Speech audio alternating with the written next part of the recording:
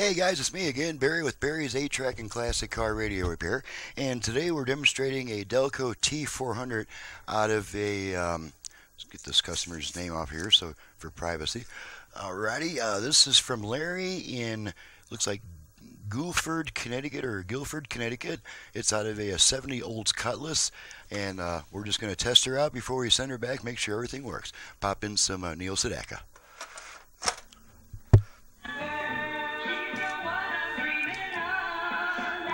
Make sure we got output on both sides.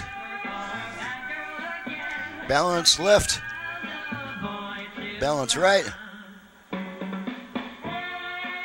Alrighty, don't need these anymore. Switch tracks.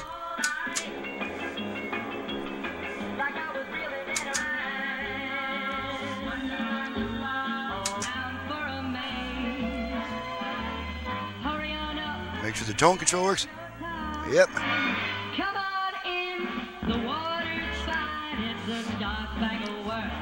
When you ever call her.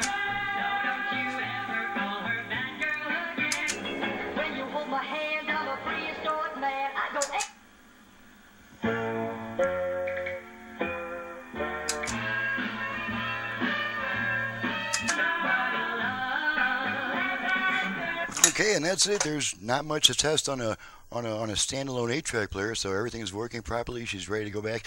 And uh, one thing that I do on Oldsmobile units, I'll go ahead and turn this power off here. Disconnect this unit. Um, the the connector, there's got like two or three connectors. Uh, they can be kind of confusing on an Oldsmobile, so I do I label each wire.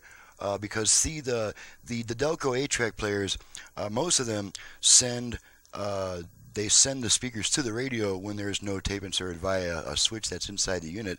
Uh, so there's there's a lot more than just the speakers to worry about. You also have to make sure that it's that it's uh, processing the radio signal as well with the, when there's no tape insert. And I, I have verified that it does. So we're all cool here.